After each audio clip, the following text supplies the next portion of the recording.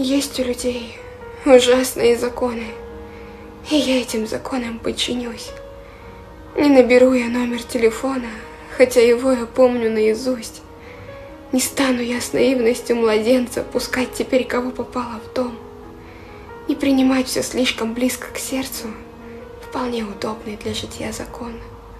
Самой искать внутри себя ответы, печаль в душе выказывать за смех. Закон не выдавать своих секретов, пожалуй, самый правильный из всех.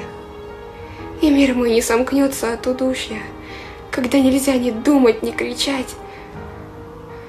Есть у людей законы равнодушия, и я их научилась соблюдать.